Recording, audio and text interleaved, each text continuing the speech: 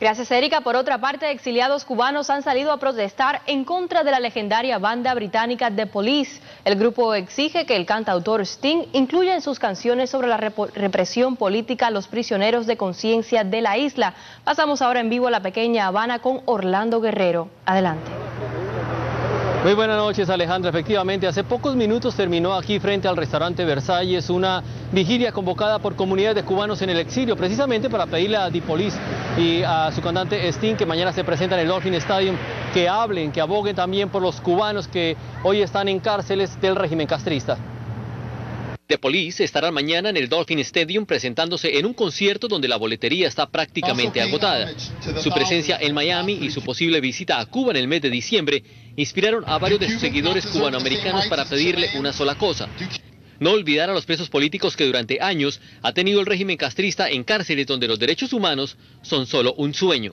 Queríamos aprovechar que The Police están aquí en Miami hoy y para hacer un acto para que ellos conozcan el, asunto de los derechos humanos en Cuba. Ellos se supone que van a presentar un concierto en diciembre en La Habana. Se ha anunciado eh, que ellos estaban en negociaciones para hacer ese concierto y algunos eh, medios de comunicación han reportado que sí, que eh, se va a hacer. Entonces nosotros lo que pedimos a Sting, que ha luchado mucho por los derechos humanos en el, en el pasado, es que también luche por los derechos humanos en Cuba. Alexis Solorzano Pollo Cuellar. La vigilia de hoy es solo una de varias actividades que la comunidad cubana ha preparado para pedirle a Sting y a The Police que rompan el silencio frente a Cuba. El tema chileno y el africano han sido motivo de campañas y de temas musicales. Extrañamente, dicen estos cubanos, los 70 presos que hoy tiene el régimen de Castro aún no han sido mencionados. Me encantaría que Sting fuera y hablara por los prisioneros y que hiciera un esfuerzo para reunirse con ellos, para para verlo, las condiciones que están y, para hacer algo para ayudarlo y traer la tragedia de ellos al mundo y que el mundo haga algo para ayudarlos a todos.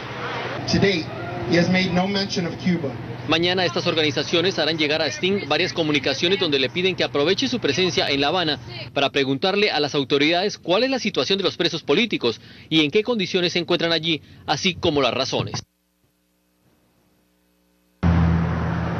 Coincidencialmente esta noche dentro del restaurante Versalles se encuentra Andy Sammer, el guitarrista del grupo Police.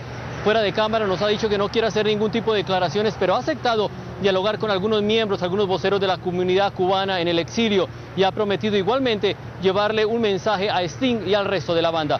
Esta es la información que se genera aquí en la pequeña Habana. Félix, Alejandra, siguen ustedes en estudio. Muchísimas gracias por esa información en vivo, Orlando.